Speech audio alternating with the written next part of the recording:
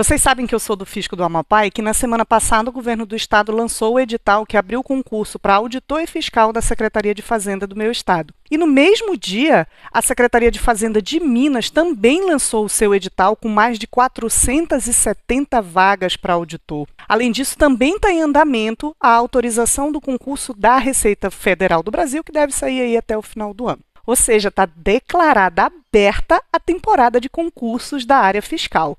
E é por causa disso que eu resolvi inaugurar um novo quadro aqui no Prática Fiscal, em que a gente vai ter encontros periódicos para resolver questões de concursos anteriores da área fiscal.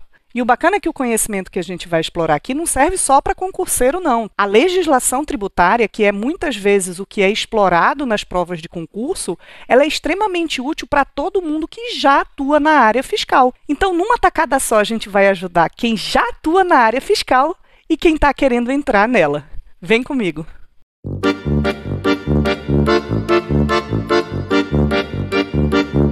Então, nesse vídeo, a gente já começa com a resolução da primeira questão. A ideia é a gente ir soltando vídeos curtinhos, com uma ou duas questões resolvidas no máximo, que vão ficar salvas em uma nova playlist aqui do canal de resolução de questões de concurso, para você ir assistindo no seu tempo, porque a gente sabe que muitas vezes a pessoa trabalha o dia inteiro e você pegar aí um vídeo de 20, 30 minutos de resolução de questão só de uma vez, quando você já tem um monte de conteúdo para estudar, pode ser um pouco cansativo. Então, eu já te aconselho, se você ainda não se inscreveu no canal, se inscreve, ativa o sininho para você ser avisado cada vez que sair um vídeo novo dessa nova playlist por aqui.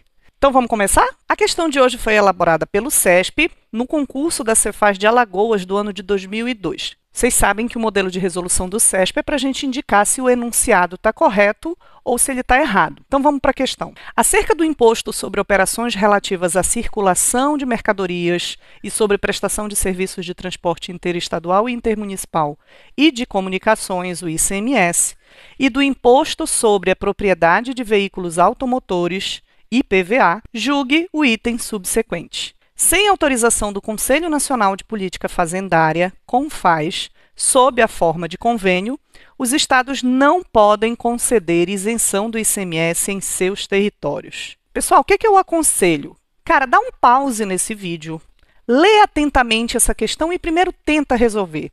Porque você sabe que quando a gente está vendo alguém resolvendo, explicando para a gente todos os fundamentos daquela resposta, tudo parece muito claro, tudo parece muito simples.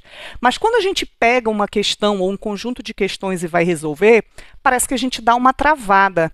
Então, a primeira dica de estudo que eu te dou é essa. Sempre que você pegar as nossas questões de resolução de, de, de concurso, dá um pause no vídeo, primeiro tenta resolver e depois, na sequência, você assiste a explicação para você verificar se acertou ou, principalmente, onde você está errando e precisa corrigir, porque é aí que você vai evoluir.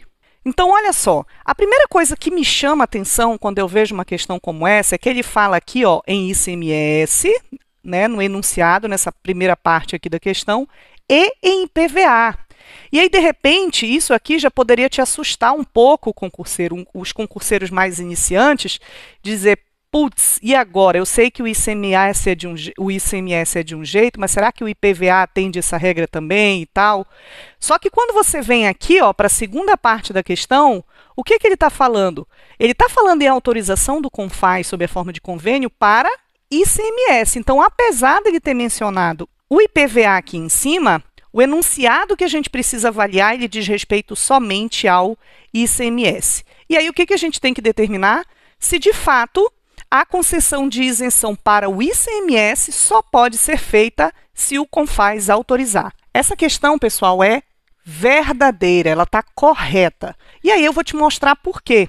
Aqui eu trago para você a base legal que demonstra por que isso está correto. Em primeiro lugar, os dois diplomas legais que foram explorados nessa questão foram a Constituição Federal e a Lei Complementar 24, que trata justamente da concessão de benefícios fiscais para o ICMS. Aqui nesse dispositivo da Constituição Federal, o artigo 155, parágrafo 2 inciso 12, a linha G, está dito o seguinte, ó, que em relação ao ICMS está reservado à lei complementar disciplinar a forma como serão concedidas isenções e outras espécies de benefícios fiscais.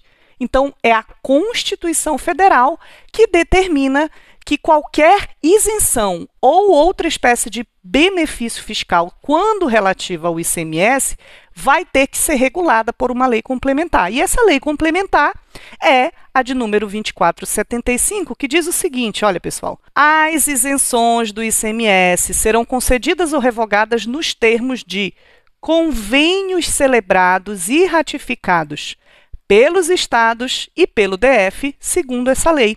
E aí o artigo 2 fala que esses convênios serão celebrados em reuniões para os quais tenham sido convocados representantes do estado e do governo federal. Essas reuniões são justamente as reuniões do Conselho Nacional de Política Fazendária, o CONFAS, que é onde ocorrem as deliberações de todos os estados. Quando um estado vota contra, isso está estabelecido na lei complementar, quando um Estado vota contra a concessão, a concessão de uma isenção, então aquela isenção não pode ser concedida. Inclusive, esse tema foi, foi objeto de um julgado no Supremo Tribunal Federal, em que se questionava essa regra de unanimidade, porque alegava-se que, nesse caso, o voto se transforma em veto, porque basta um votar contra, mas a Lei Complementar 24 de 75 foi considerada constitucional. Beleza? Então, nessa questão de concurso, a alternativa viável era você dizer que a questão estava correta. Se você está com dúvida, deixa aqui embaixo nos comentários e até a nossa próxima questão. Tchau, tchau!